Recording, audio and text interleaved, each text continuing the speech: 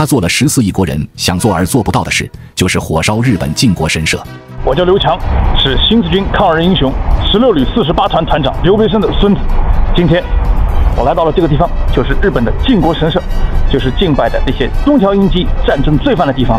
我今天要宣告，新四军必胜，胜利是属于我们的。大刀向鬼子们的头上砍去，杀！二零一一年十二月二十六日，在伟人生日的这一天凌晨，伴随着一声巨响，位于东京的靖国神社燃起了熊熊烈火。刹那间，警报声响彻了整个东京。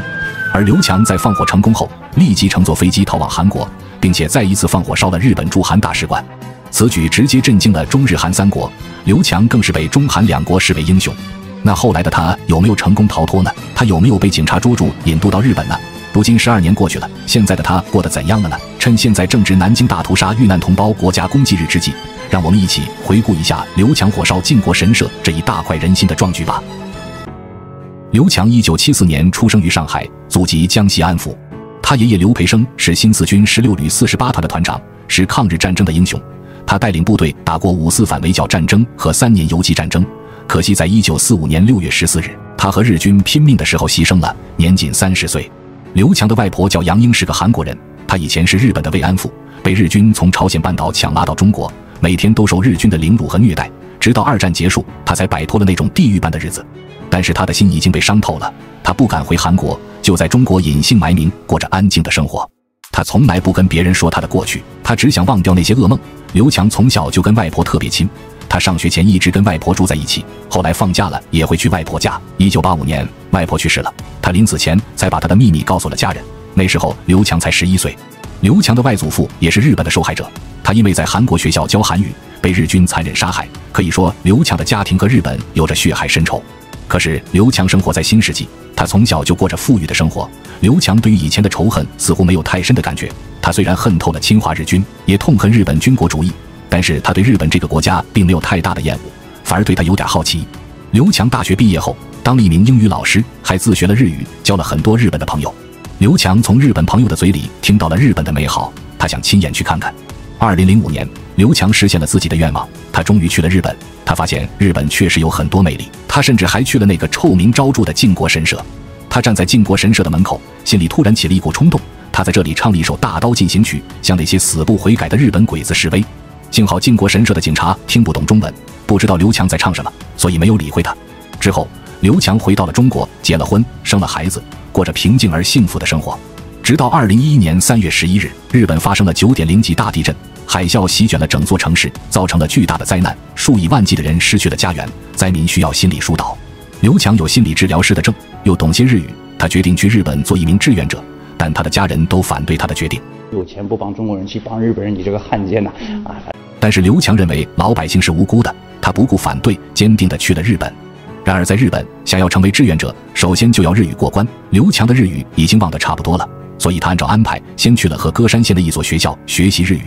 他不知道，他所在的和歌山县正是当年侵华日军六十一联队的发源地。这支部队曾经在侵华时从东北打到华南，杀人无数。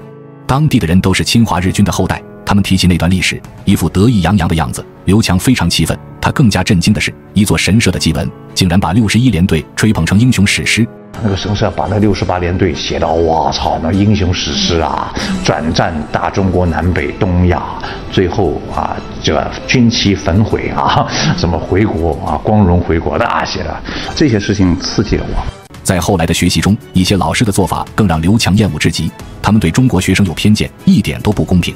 中国学生要是迟到了，他们就骂个没完，好像中国学生就是罪大恶极。其他国家的学生要是迟到了，他们就装作没看见，顶多就是敷衍几句。刘强看不惯这些日本老师对中国学生的颐指气使，他决定给他们点颜色看看。有一次，日本老师让学生造句子，刘强突然站起来，大声说：“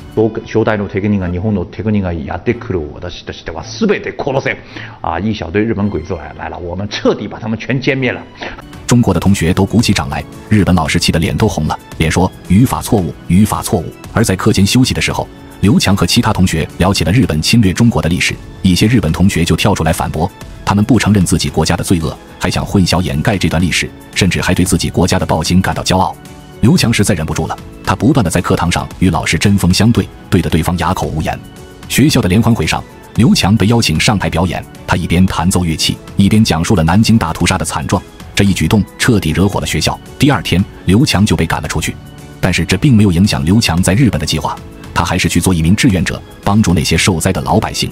然而几个月过去了，一件事情彻底激怒了刘强，让他产生了一个新的主意。二零一一年十二月十八日，韩国总统李明博访问日本，要求日本政府就慰安妇问题道歉和赔偿，结果遭到了日本政府的拒绝和否认，甚至还有人说慰安妇是自愿的。这些话刺痛了刘强，他想起了外婆在临死前告诉他的那些日军的暴行，那是他一生的痛苦，也是他永远无法忘记的噩梦。刘强再也不能忍受了，他决定要为外婆、为爷爷、为所有的中国人，也为韩国人、为亚洲人出一口气。在这期间，六十八名日本国会议员参拜了供奉着日本战犯的靖国神社。于是刘强想着在靖国神社喷个漆发泄一下，但是他的一个日本朋友直接建议他烧掉靖国神社。后来我那个日本朋友就说：“喷什么漆啊？你就把它烧掉啊！莫要老啊烧！既然日本人都说烧了，我还能拒绝吗？”既然日本人都这么说了，刘强也不客气了，他决定烧掉靖国神社。于是他提前购买了汽油弹和打火机，并花了五天的时间，三次去了靖国神社踩点，研究了周围的环境和安保措施，制定了一个完美的纵火计划。十二月二十六日，这一天是毛主席的诞辰日，也是刘强外婆去世的日子。凌晨四点，刘强躲过了摄像头和保安的视线，分三次把汽油泼在了靖国神社的大门和基座上，然后用打火机点燃了火苗，顿时火光冲天。靖国神社被一团火焰包围，像是地狱的火门。刘强看着火势，心中一阵狂喜。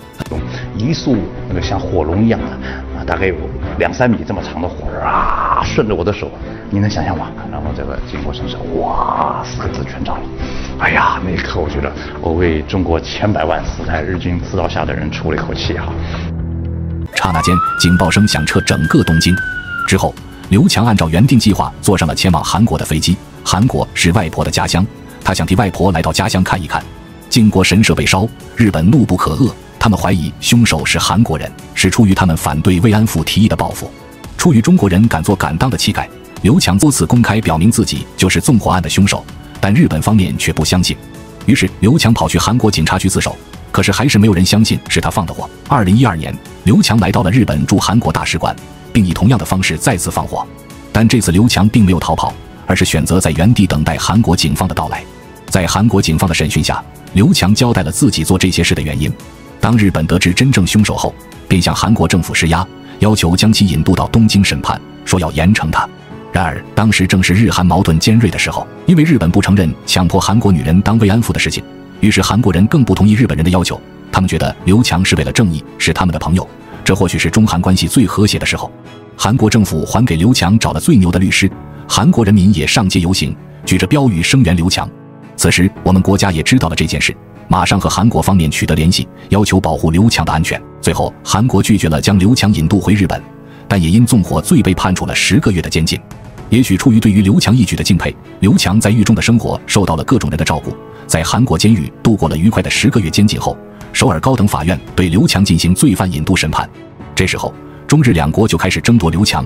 日本使劲地向韩国施压，还派了前首相麻生太郎亲自去韩国要人。而我们国家也一直强调，绝对不能把刘强交给日本。二零一三年一月三日，韩国法院宣判刘强是政治犯，不符合韩日罪犯引渡条约的规定，所以将他遣送回了中国。日本气得要死，还想使手段。谁知我们国家的外交人员第二天就把刘强接回了国。正是这前后脚的功夫，刘强刚上飞机，日本的特工就到了机场想抢人，可是没赶上。韩国的左派人士也赶来了。把日本的特工围住了，甚至有人当场切腹抗议。归国之后的刘强迎来了大量记者的采访，一时间不堪其扰。网络上的评价也是完全两极分化。有些人认为刘强是民族英雄，他的所作所为应该受到我们的尊重；但也有人认为他就是一个游走于法律之外的分子，做事情完全不考虑后果。但他完全不管别人的评价。回到广州后，刘强每周都会抽出一天到日本领事馆抗议，喊口号。要求日本政府拆除供奉甲级战犯的靖国神社，以及向慰安妇道歉，但他的行为也受到越来越多人的批评。别有用心的人发现，刘强每次出现都能引起众多人围观，造成一定的治安问题，给派出所民警添麻烦。他们就利用这一点制造舆论，攻击刘强。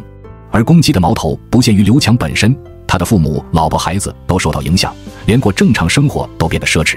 他的父母认为他惹麻烦，几乎要与他断绝关系。妻子带着孩子与他离婚。单位更是将他开除了，他成了孤家寡人。而他所做的一切也被一些人认为是轻狂之举，只是想要迎合大众口味而已。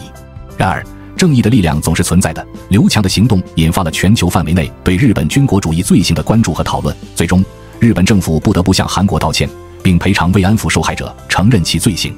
这不仅是刘强个人的胜利，也是对历史的正视和对守护正义的胜利。之后，刘强加入了琉球历史研究会，开始了历史研究工作，希望用知识和笔来继续他的抗日之路。他仍用自己的方式做着抗争。曾经有人说刘强傻。也有人说他的精神状态有问题，但找到自己愿意为之奋斗终身的事业，又何尝不是另一种幸福呢？聪明的网友，你们觉得呢？我不追求在别人眼中大多数人过得正常的所谓的 right 的路。嗯嗯，你的 happy 来自什么呢？现在 happy 来自我做我自己愿意做的事情，我说我自己愿意说的话，并且百分之百的为这个负责呀。